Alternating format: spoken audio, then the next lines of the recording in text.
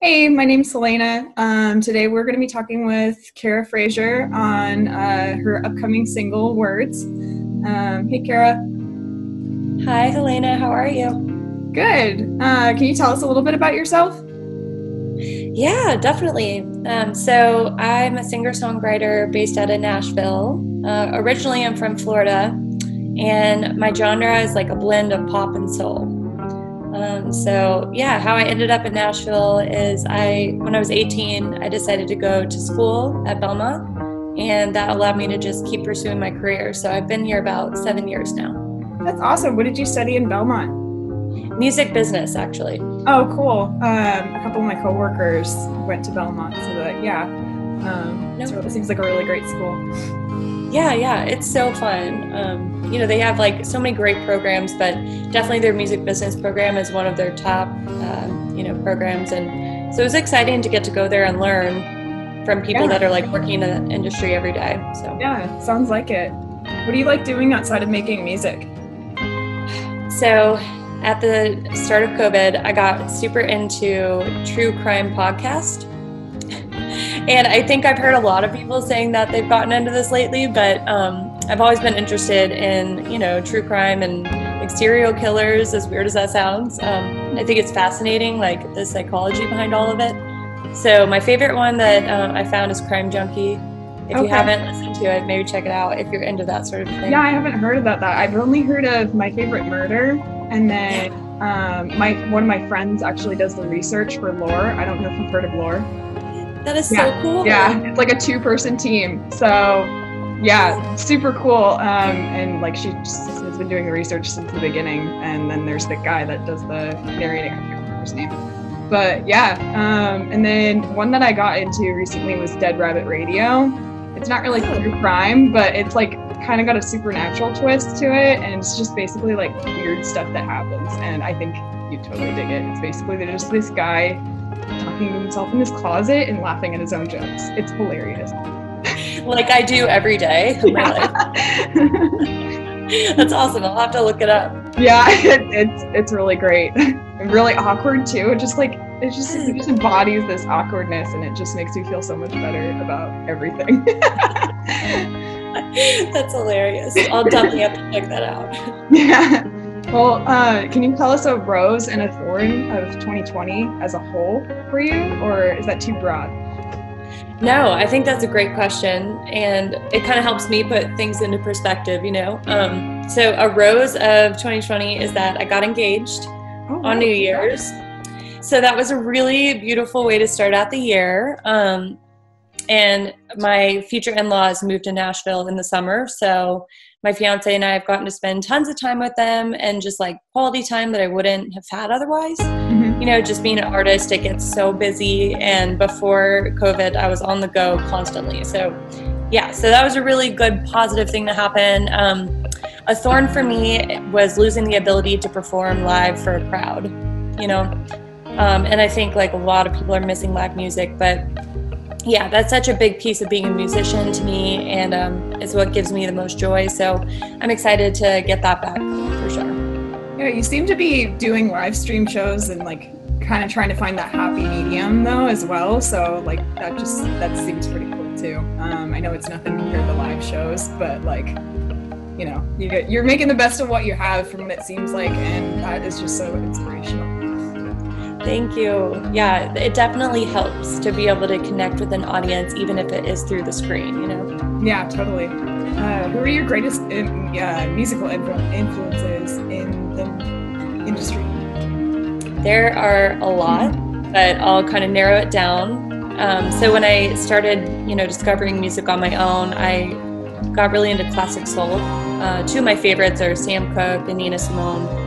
They're just amazing storytellers and really encompass like um, what's going on in the world, you know, when they were writing music. And I just think that's such an amazing skill. So, uh, as far as jazz goes, like I love jazz. Are you a jazz fan at all? Uh, I've gotten into it, like really, really into it. Um, it's our wedding playlist. It was all older jazz. So yeah, yeah. I didn't oh, know anything like else. Yeah. well, okay, I love that. Um, so yeah, like jazz influences would be Ella Fitzgerald, Billie Holiday, you know, the yeah, classics. Yeah, the but, classics. yeah. But I personally love Norah Jones and Melody Gardot. Mm-hmm. I don't if you're familiar with her, but she's yeah, she really makes you feel like you took like a um, time machine back to the 1940s. You know, um, it's really cool. Yeah. Um, and then let's see. As far as rock goes, I love Kings of Leon. That's my all-time favorite rock band. Red Hot Chili Peppers. Um, for like pop influences, I love Lana Del Rey, Florence and the Machine. Um, and yeah, I just I I'm really obsessed with like uh, Marcus King, St. Paul and the Broken Bones, Michael Kiwanuka. So yeah, I mean, there's a million gazillion like influences, but it's cool to kind of be able to blend them all together in my own writing.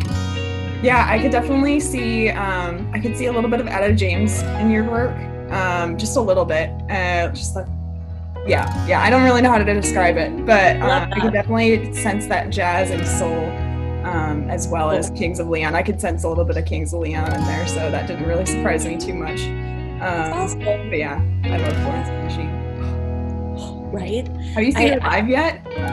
Yes, that's what I was about to say. Is like that is actually the best concert I've ever been to. Yeah, I um I've seen her live twice, and my ultimate goal is to like get a photo pass with her show. I feel like I'll retire as soon as I get as soon as I get yeah. a photo pass for her show because like that's you're like I'm good. Yeah, I'm good. I'm done. Bye guys.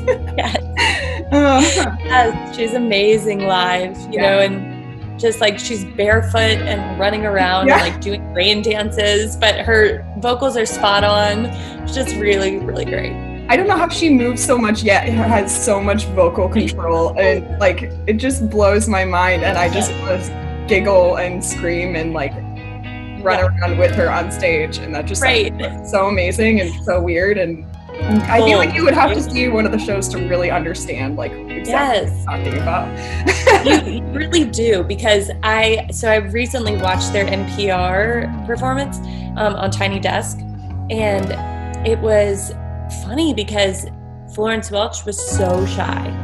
And they even talk about that in the description. They're like, yeah, she kept saying like she wished she had a big stage and like, you know, could really do her thing. But I mean, she was still amazing, but it was just interesting. Like, this really shy woman can all of a sudden turn into this like total powerhouse on stage, fearless, you know. So anyway, I have a lot of respect totally for makes her. Makes sense. Um, if you like, I could honestly talk about Florence for uh, like hours, but um, she she seems like that kindred soul and that kindred spirit and she has this different kind of persona on stage. I think she's even talked about it um, and how she's had to like make it more who she really is uh, post ceremonials era because of stuff that went on in her life. So mm-hmm. yeah. But yeah oh, i could talk about her for ages. Me too. She's amazing uh who so i mean yeah i might now i mean i now already know this but who would your dream musical collaboration be with? Yeah i just gave it away didn't i? Yeah. Well yeah it's pretty easy one once you once we start talking about her. I know right? Um but if i could pick a second one um it would be Hozier.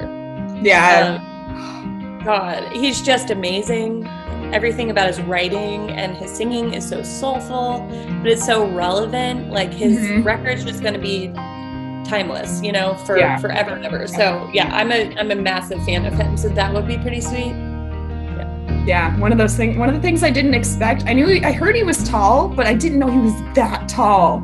Is he? oh, tall. Do you know how tall he is? I he's over six feet. Yeah, like for sure. I um, I got to I got to photograph him a couple years back. Uh, it's up in nice. Seattle, and I don't know. Maybe maybe it was just having that elevated stage and then being down in the photo pit. But he was so tall. Like he just. You're like staring up. Like who is this gentle giant? Yeah, definitely.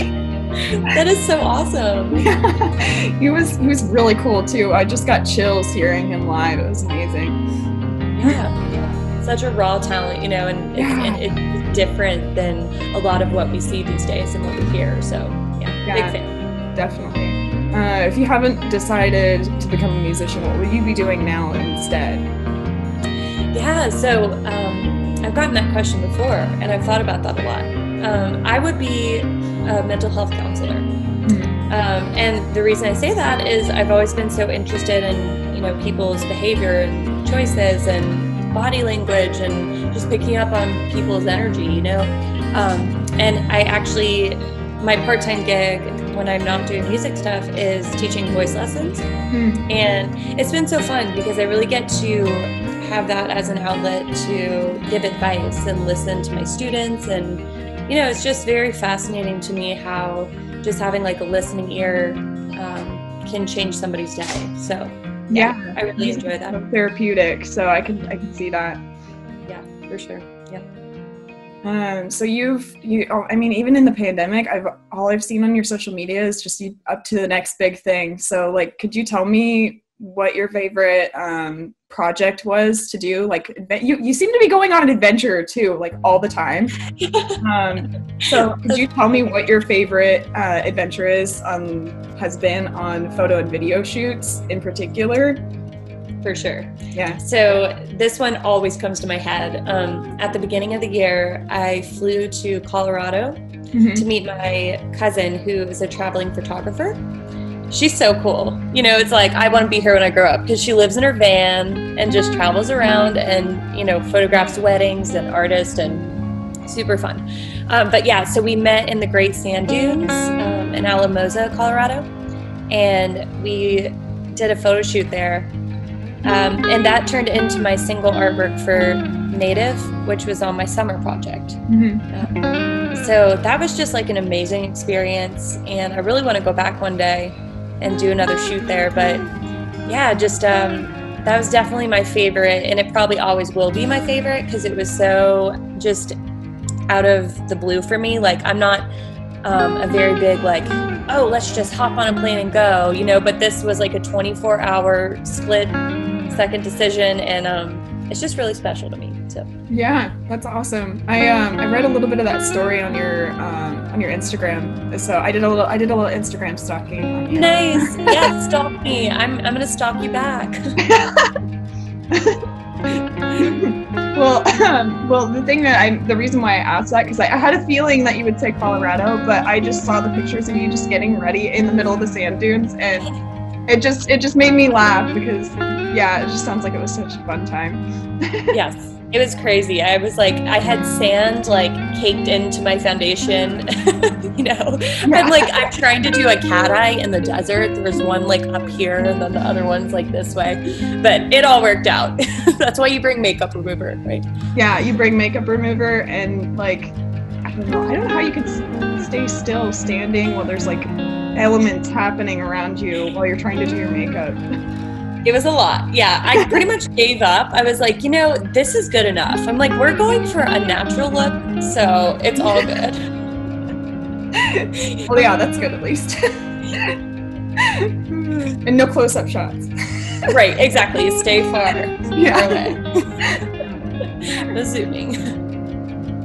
You've been uh, you've, uh, you've been doing some live stream performances as well as I think you've been doing um, some live shows from uh, like really really small venues, close and safe, safely done.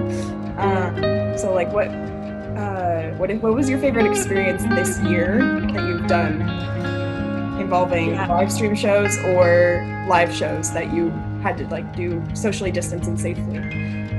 Totally. Yeah. So two come to mind. Um, the live stream that I did this year, I think it was in August or September, but uh, I partnered with Bacardi and we basically just did like a, a beach themed set, which ended up being perfect because I just released the beach tapes in summer. And yeah, so that was awesome. It was so good to get up with my guys and just play a set you know and mm-hmm. uh, that was really fun because my fiance um, he used to do music as well and he sang harmonies for me so it was just really it felt like family up on that stage and to get to connect and like see that you know my audience was still tuning in was mm-hmm. really really encouraging because um, through the pandemic you know you're like oh man are people going to forget that i do music but it wasn't like that you know it was just um there's a lot of support, you know, for that show. Definitely. Yeah, so that was awesome. And then, uh, so right now I'm living in Franklin, and up at our community center in the neighborhood, they had um, what's called Park Fest.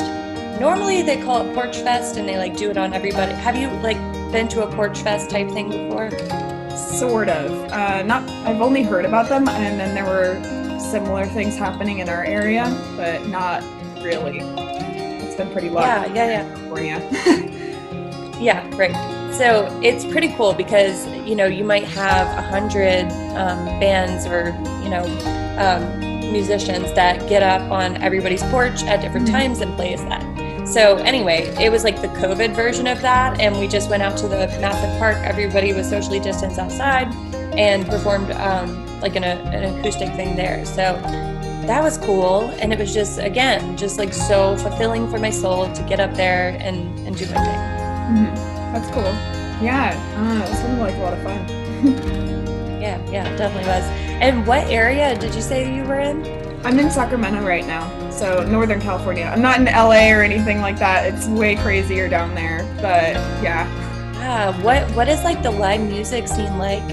There um, has been know? pretty much nothing. I went to before the pandemic. I went to two shows, and that was in January, and then. Um, yeah, absolutely nothing until there was, uh, like, I'm right by the Capitol building. There was a worship pro- protest that was going on. Uh, I don't know if you heard about Sean Feucht, um, but yeah. Oh. Yeah, he's been doing protests to, like, I don't know, yeah, and it was like 15,000 people showed up at the Capitol building, and I got to capture that as safely as possible, which was really interesting. That's like history right there. Yeah, so I could not miss that. That was really cool. Um, yeah, super, very interesting environment. Like there, there were.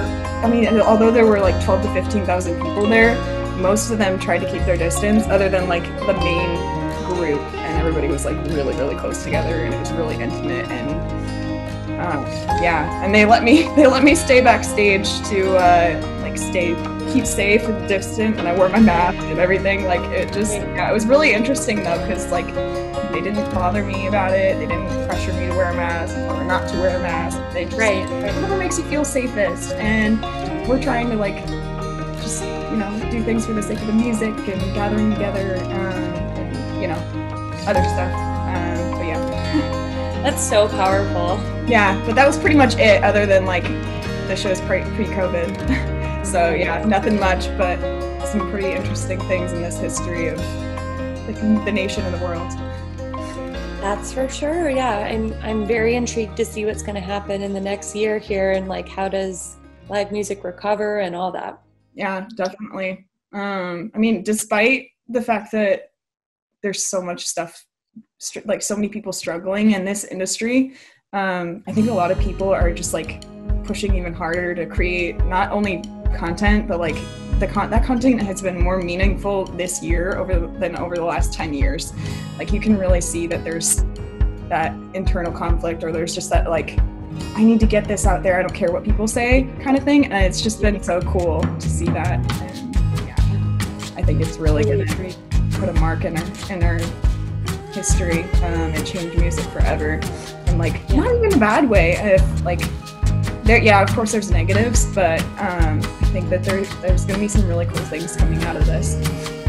I agree. Yeah, I think it's like you said, it's going to be more authentic work coming from creative people. Mm-hmm. You know, because when everything you know is stripped away, it's like you kind of are just like raw, and you have to find the pieces of you that you really want to showcase you know all the other clutter's taken away you're not as busy so it's like i don't know there's just more time to think and more time to be real about what your message is or who you are Definitely. what you have to offer yeah mm-hmm. totally agree with you well i mean this is kind of on the same thread but how uh, has this year transferred tra- transformed your music and creative process as a whole it has been so transformational for me personally. Um, like I said earlier, before COVID, I was always running seven days a week, like barely had time to sleep. And when all this happened and the shutdown, the first initial shutdown happened, I was like, okay,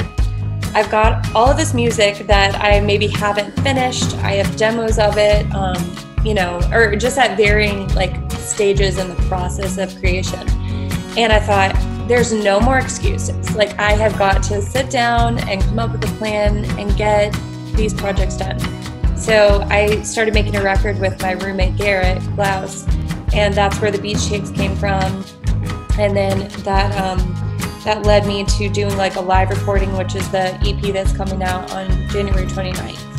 Um, so it really, for me, was like a time to get a bunch of content done, you know, make new visuals, um, pull from the archives, as I call it, you know, like old footage and, and apply that to my new recording. So it's kind of like a blend of, you know, everything I had been working on over the past three years, but finally, you know, putting those projects together and then getting a plan and, and releasing them. And it's exciting because I can say I've done that with all of the stuff that I had in the archives and it's getting ready to come out. So that yeah, it's like it's just been such a big year. So like you said, you know, there are negatives, but there have been so many positives and like silver linings.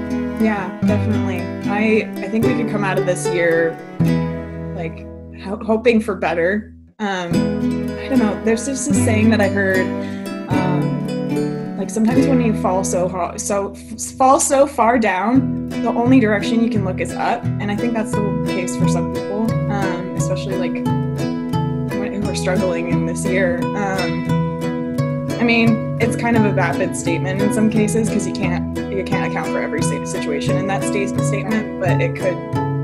I don't know. I think it. I think it has applied to me this year a little bit. So you know, kind of cool. yes, it's very cool. Yeah, I love seeing what uh, you guys are doing, and and like I watch back some of your interviews, and it's just really cool.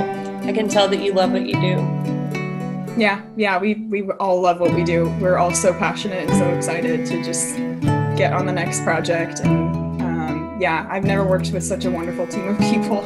Um, and I like we we all come out of our meetings just smiling, or at least I do. I come out of oh, them so excited and like, oh my gosh, we get to do this, we get to do that. yeah, it's really cool.